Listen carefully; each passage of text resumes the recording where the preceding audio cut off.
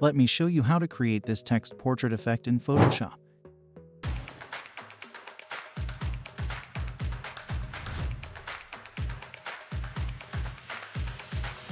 Download images from the link below. Press Ctrl J to make a copy. Go to Filter, Blur, choose Gaussian Blur. Set the radius to 10 and then press OK. Go to File and choose Save As. Save it as map and then press OK. I have already done that. Now delete this blur layer. We don't need it anymore. Drag your text image to Photoshop. Or you can write your own text and do the same thing. Adjust it accordingly and then press enter.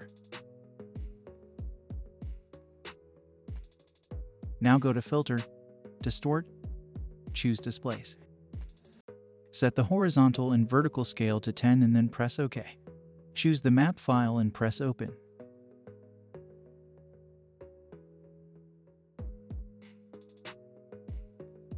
Go to Layer Style and choose Solid Color. Choose the black color and then press OK. Drag this image layer on top of the layers. Hold Alt and click here to create a clipping mask. Press Ctrl J to make a copy. Hold Alt and click here to create an inverted mask.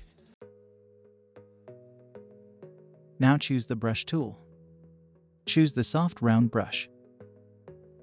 Set the flow to around 30%. Make sure you set the foreground color to white. Follow this process.